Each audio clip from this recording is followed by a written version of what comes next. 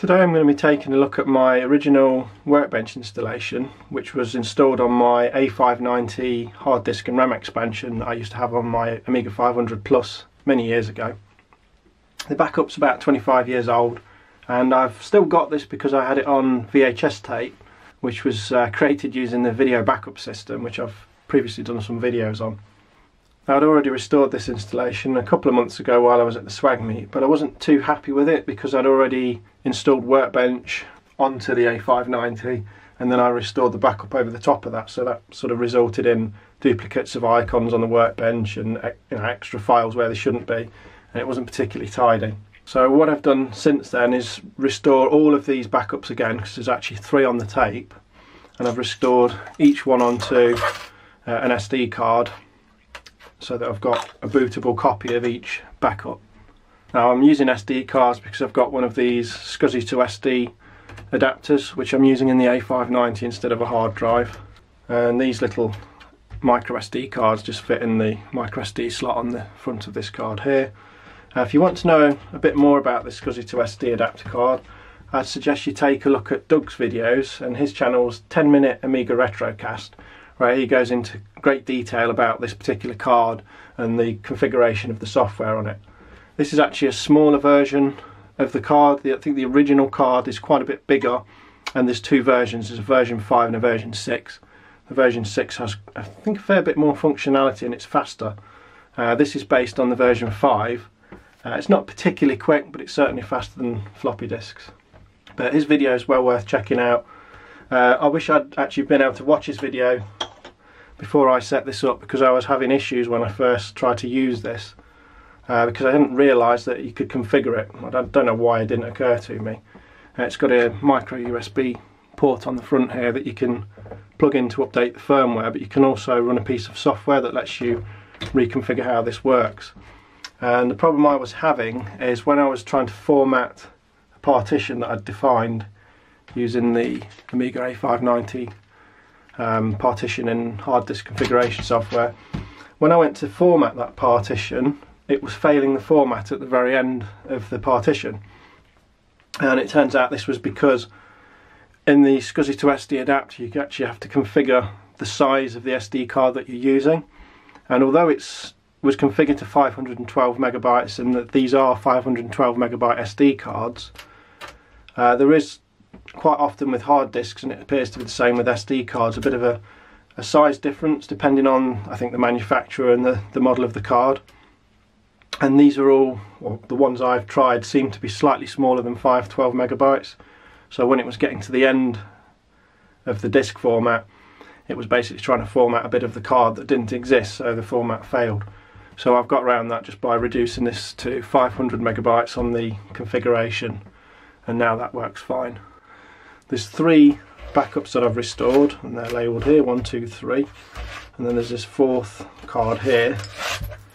And they should all be bootable, so I'm going to try and boot into them. I have already had a bit of a look at them, so I've got some idea of what to expect. And this fourth card here is a backup of the final backup, which is number three, uh, which I think is probably the best configured of the backups I've got. Uh, but what I've also done is create folders which contains the copies of the files for all three of the backups. So when I put that one in, I'll have access to every bit of data that's been backed up from the A590 all in one place. So that'll probably be the one I, I end up using. So one thing I have discovered about this SCSI to SD adapter is that it won't boot when there's no SD card in it at all. And what I mean is the, the Amiga won't boot even off a floppy disk. Obviously it won't boot the A590 if there's no, effectively no hard disk available, but I would have expected it would have still allowed me to do the workbench disk, so that's an interesting discovery. So I shall just switch that off again and remove my workbench disk and put this first SD card in. This is the first restoration that I've done. I may run a little thingy on the corner of the screen if I remember of that restoration in progress or at least the start of it so we can see all the headers and that that come up on the VBS system. So this is the first backup that I'm booting up now And I found the problem with this one is it doesn't actually boot into Workbench, and because it's not starting up properly, there's not access to the normal commands. So what I've found I need to do, if I put in the Workbench disk into the floppy drive, I can then get access to the commands from that to see what's on the hard drive. I'm sure there's a dir command on here somewhere. So perhaps if I do dh0c dir. So that doesn't seem to even be available on the hard drive for some reason. I, don't really know why. Um, so there's some C commands in the C folder, but not the ones that I'm expecting. There is a load workbench command though, so we could we could run that off of the hard drive. If I press the right keys, we could anyway. And then workbench will start, and this this prompt will end up being stuck here then, but.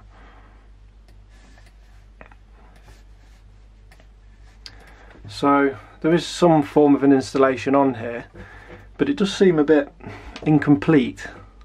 That's actually the floppy drive, so that's the wrong wrong one I've clicked on there. Uh, we've got a folder with some modules in allegedly. Uh, I think we need to show um, show all files. So there's some modules that have been ripped and, and stored on this installation. Looks like they've been ripped from games, probably with the action replay. Uh, I've got some HD2 here, game and editor. I've tried running these, they don't seem to do anything. And this repairs folder, I've no idea what that is.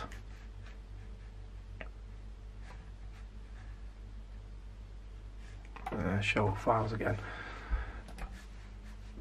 So I'm not entirely sure what's going on with this installation or this backup, what the the setup was at the time the, the um, backup was made. There's some other folders in here and then what appears to be more copies of some of the uh, the workbench installation. Uh, it's, it's, very strange. I don't really know what was going on. Uh, folder called files. So this again, this looks like ignition. I mean, is that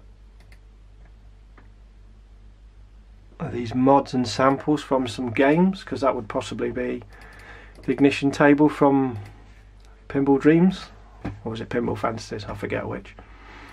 So I'm really not sure what's going on. I don't know what this Robert file is.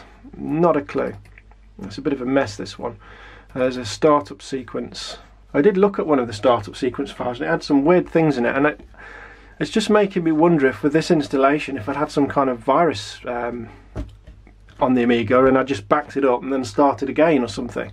I'm not entirely sure. So I think what I'll do is probably come back to this one because as I said I have copied all of these first three onto this one card and this this um, third installation's got a, a copy of Directory Opus installed so it's going to be easier to look through the files and, and see what's what. So I think I'll leave this first backup until then because it really doesn't seem to be a great deal on here to actually look at.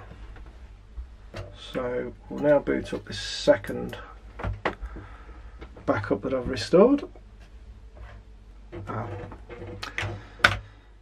Would help if I took the workbench disk out. So I'll just try booting that up again without the workbench disk in the uh, floppy drive this time. Might get a little further then. and you can see that's booted straight into Workbench from the, the hard drive from the A590 which obviously has an SD card in it at the minute. Got some kind of pencil looking mouse pointer here for some reason. Maybe I was uh, trying to do some drawing back then which I'm sure would have been a complete disaster just as it would be today. So you can see here, I'll just quickly go back to this main window. I've obviously set this up with the things that I use the most. I've gotten rid of uh, some of the default workbench programs and things, or I've, I've rearranged things in a way that suited me back at that point in time. You'll also see there's this park thing on the desktop.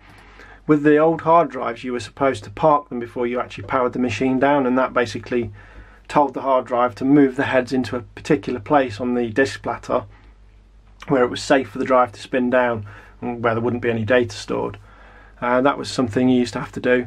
These days, hard drives just automatically do it. When you power them off, in fact, I think on some drives the heads may even get lifted off the platters now.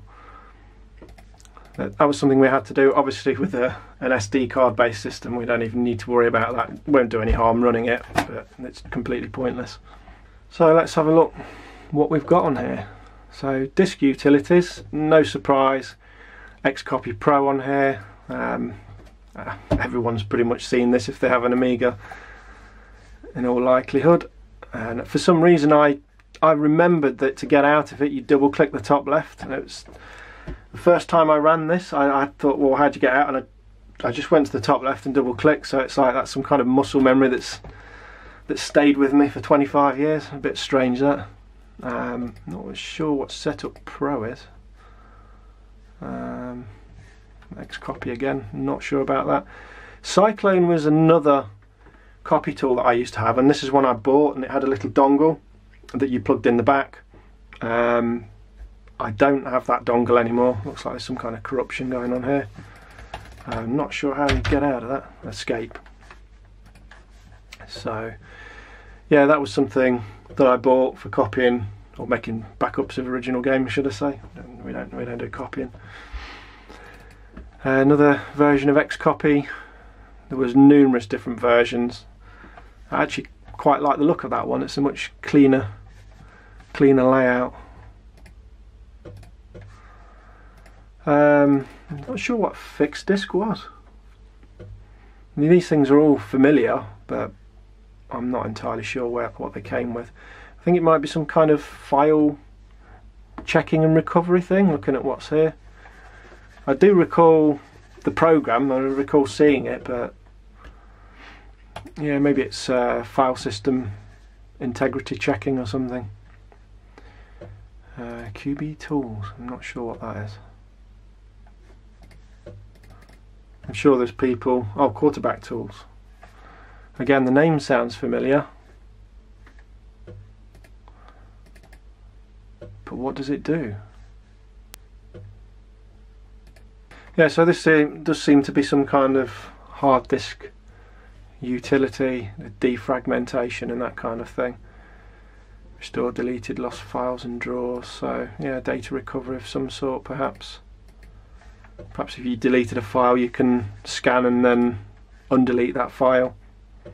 Uh, I don't really fully recall that. I do recall some of these icons because I think some of these icons are icons that I drew or I I took existing icons and altered them a little bit so I'm pretty sure I had something to do with these icons these two disc ones here Then we've got a copy of D-Paint obviously um, this default thing also looks familiar but I'm not entirely sure what it does. I've tried running it but it it doesn't really seem to show anything other than do that but I'm not I've got a feeling it set some kind of default folder to save to or set the, one of the floppy drives as a default to save to when I was saving files because I didn't used to save the files to the hard drive very often even though I had the hard drive because my A590 only had about 20 meg on it so the space was really limited but I'm not entirely sure. Um, I'm sure I also had another art program that I used to mess about with, but I'm not really sure what that one was called. I can't remember. Maybe that's on one of the um, the other backups that I've restored. So yeah, D-Paint. That's about the limit of my abilities. No, I don't think we'll save that masterpiece Then we've got your preferences so these are probably going to be the usual built-in workbench preferences tools. I'm not quite sure what set prefs actually does. So you can configure your standard workbench settings. There's probably some more of those somewhere. Music I'm going to assume Octamed oh no. Oh so we've got we've got some mod files here. Assume they'll play. No song memory. Uh, maybe they won't play.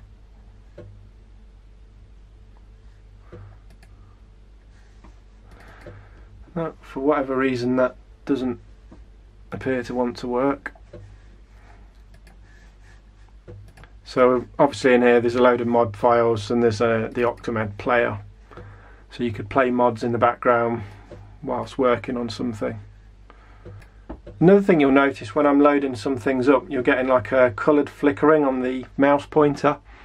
One of the things I installed to help with disk space, because disk space was limited on the hard drive, was um, like a decruncher library, and that would actually decompress uh, files, even programs in the background, when you loaded them, and that allowed me to store more on the hard drive uh, at the expense of having a small delay with the actual file loading up or the program loading up. Let's go into Octamed. So again, there's this default. Um, I'm sure there'll be some way to see what that does, but my workbench knowledge is well, most of it seems to be gone now, so I'm having to relearn all of this. But it'd be interesting to know what that actually does.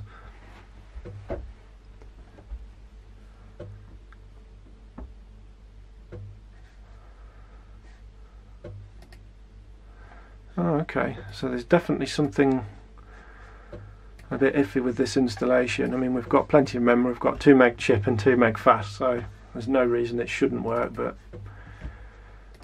well, let's try that version of the. No, it's it's not. It's not happy about something. But anyway, uh, directory Opus is on here as well. This is the one of the classic file managers for the Amiga. So again, this is a compressed program, so that's like a decompression routine it's running. Uh, yeah, there does seem to be something not right with this installation. There appears to be some files missing, some library files. I don't know why that would be. It doesn't seem to be very happy at all. Uh, Protex is a word processor. I actually used to use this to do some of my school work on, and I think maybe even some of my early college work. Um, I may actually have even bought this program myself. I think this wasn't something that got copied. Um, I can't properly remember where it came from, which is what makes me think I must have bought it because it wasn't particularly easy to get hold of stuff uh, back then. Uh, some kind of temp folder temp uh, imploder. So this is again a decompressor or a compressor program with a mod file built in.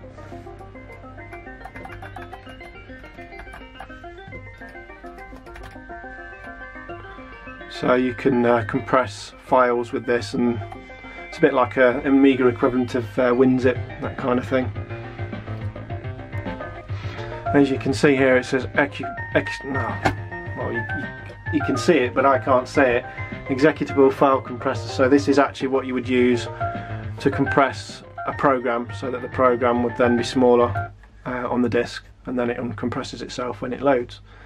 TextEd I think is a, just a basic text editor sort of a bit more of an advanced program a bit like a notepad thing but more advanced. Um, PowerPacker again is another compressor. I think this is probably the one just for compressing ordinary files that you would use rather than executable files.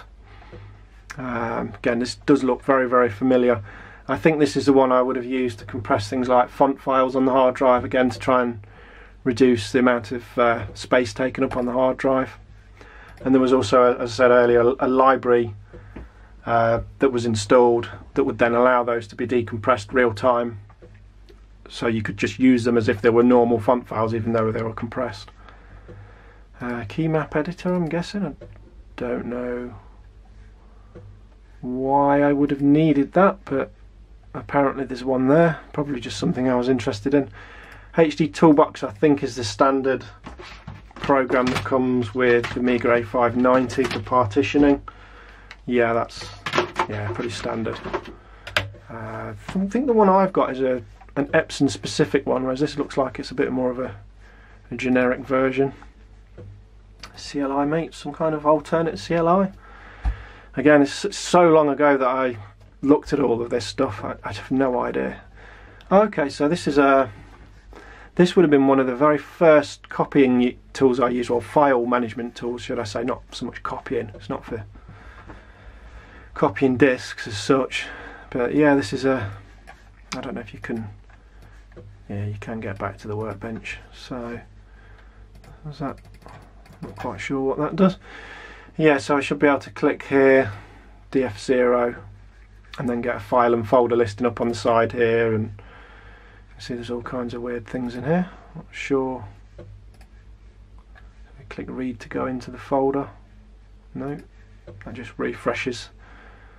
So I'm assuming that's. Oh, so we right click to get into it this was one of the problems with a lot of these old Amiga programs is they they all had their own sort of interfaces and their own ways of working. So um, not, again, I don't know what this stuff is. This definitely looks like something that I've created, which is probably not a good thing. Ah, so you can. So this is kind of a a bit like Directory Opus and a very early type of Directory Opus file management tool. Um, so you can just copy files between different devices and folders, delete them, that kind of thing.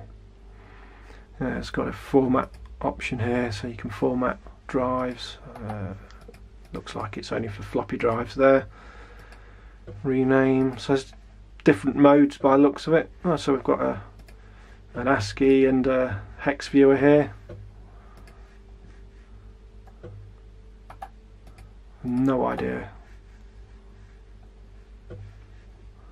what these things are. So it's quite an old program. There's no context menu on this. If I right click I don't get any kind of menus. So, But I do remember using this. I'm pretty sure this was one of the very first file managers that I I actually used. Again, I've no idea where I got it from. Uh, View 80 I think, uh, again, so there's definitely something missing on this install. You see there it said it needs the implode library. So this would be the library that uh, decompresses some of the executables. It's probably also why uh, the mod player and other things aren't working properly. Um, but again, my my workbench knowledge is now so far gone, and I wouldn't even know where to start to put that right. And to be honest, it's probably not much point. I just wanted to have a a bit of a look around and see what I could find on here. So if we do show all files, we can see some of these extra extra things on here. So there's a C drive is uh, C folder is there. Uh, there's no dir command. I thought dir was a separate command, but I don't know. View 80 config startup sequence would be things that it runs when it starts up the system. Fonts.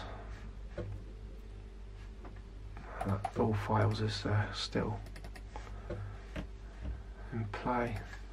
I think the L is, is it L for the libs or what was L? I can't remember. Libs is obviously for libraries. So we've got again these these libraries here for decompression. So I'm really not sure why this installation isn't working properly because I know the volume or the, the device name for the hard drive is DH0 which is what it used to be on my original system. So um, I don't know why it's not not working